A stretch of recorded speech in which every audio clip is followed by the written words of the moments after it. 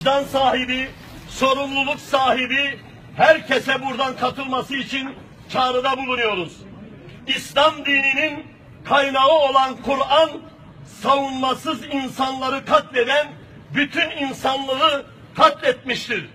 Yüzyıldan beri özgürlük mücadelesi veren defalarca katliam yaşayan Kürt halkı yine kendi, topraklarında, kendi evlerinde saray gladyosu ve AKP'nin JİTEB'i, askeri, polisi, Esedullah timleriyle evlerine hapsedilerek topuyla, tankıyla, panzerleriyle evleri delik deşik edilerek zulüm ve katliam yapılmaktadır. Daha dün İsrail Başbakanı'na Davos'ta Van Munich diyen Erdoğan Neten Netanyahu'ya sen çocuk katilisin. Çocukları öldürüyorsun diyordu. Maalesef kendisi Kürdistan'ın durumu Filistin'den daha vahim bir hale getirilerek bugün kendisi çocukları yalnız değil, hamile kadının karnındaki bebekleri 80 yaşındaki ihtiyar dedeyi de hamile olan kadını da katlediyorsun. Senden daha büyük zalim olabilir mi? Cizre'de, Slopi'de öğretmen ve memurlarını çekip savaş ilan eden AKP taht ve sarayın saltanatı için gözleri dönmüş, kaldı imandan, izandan, vicdandan yoksun, ahlaki ve insani değerlerini yitirmiş bir zalim hükümdar Kürt halkına saldırmakta olan barbar bir devlet yönetimiyle karşı karşıya kalmış. Mazlum Kürt halkı berfadan cihane diriliş yaşamdır diyerek zalime ve zulme karşı koymaktadır. Kürtler katliam yapmadı. Kürtlerin ana dili yasaklamadı. Onları evlerinde de yurtlarından da çıkarmadı Kürtler. Yaşam hakkı olan her insan gibi öz yönetim dedi diye ana karnındaki yedi aylık bebeği öldürerek bedel ödetmek zulüm ve vahşet değil de nedir?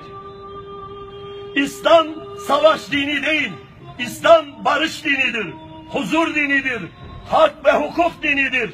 Maalesef Osmanlı'nın barbar torunlarının ruhunda savaş ve katliam yerleşmiştir.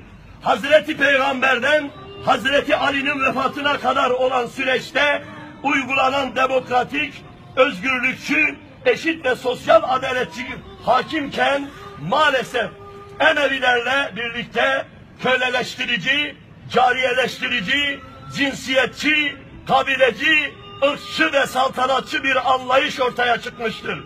Bu anlayış sadece Emevilerle sınırlı kalmamış, bir yandan da haricilik, neoseleficilik, Vahabilik, eşit çizgisiyle bir yandan da Fars İslam, Arap İslam, Türk İslam sentezleriyle günümüzü etkisi altına alarak İslam dinine de zulmetmişlerdir.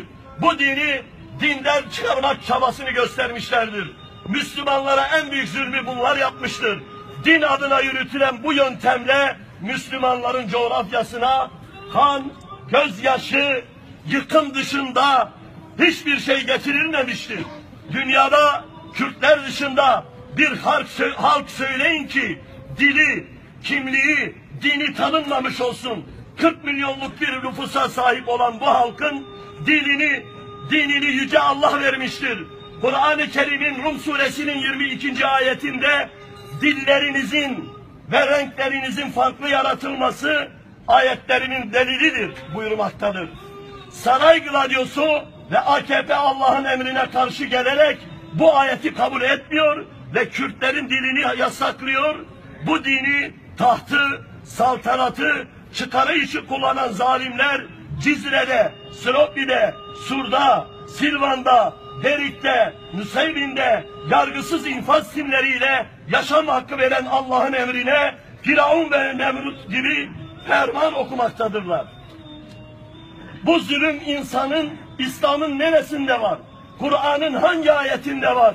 Peygamberin hangi hadisinde var? Bey zalimler şu, şunu iyi biliniz ki bu halk Şeyh Said'in, Seyyid Rıza'nın torunlarıdır. Onlar dini, dini, halkı özgür Kürdistan için idam sehpalarından korkmadılar, diz çökmediler ve bizler de dinimiz, dilimiz, kimliğimiz özgürlüğüne kavuşuncaya kadar boyun eğmeyeceğiz, diz çökmeyeceğiz. Bir gitsek binler gelir. Allah'ın verdiği bu haklarımızı serhıldanlarla, zulme direnişle cevap vererek demokratik, özgür yaşam yönetimini inşa etmeye edene kadar gerek Kürdistan'da ve gerekse yaşadığımız dünyanın her yerinde kesintisiz direnişe devam edeceğiz. Bu vahşetin, bu zalimin esaretinden özgürlüğe kavuşana kadar Kürt halkı kanının son damlasına kadar direnişe devam edecektir. Kürt halkının özgürlüğü, Selok Apo'nun özgürlüğü esas alınarak bu halk dünyanın her yerinde direnişe, serhıldanları yükselterek devam edecektir. Roboski, Maraş, Ahmet, Sur, Ankara katliamlarının hesabı da mutlaka sorulacaktır. Cenab-ı Allah da soracaktır. AKP'de Erdoğan'ın barbar vahşetinin sona erdirilmesi için buradan bütün dünyaya haykırarak bütün dünyanın bütün kanat önderlerini, Amerika Birleşik Devletleri'ni, Avrupa Birliği'ni ve Birleşmiş Milletleri olmak üzere tüm duyarlı uluslararası güçleri bu vahşet ve katliama karşı inisiyatif almaya çağırıyoruz. Federasyona Civaka İslamya Kürdistan adına yönetim kurulusu üyesi olarak ve Şeyh Said Camii sevdası olarak bu basın açıklamamıza katılımınızdan dolayı hepinize ayrı ayrı teşekkür eder, sevgi ve saygılarımı sunarım.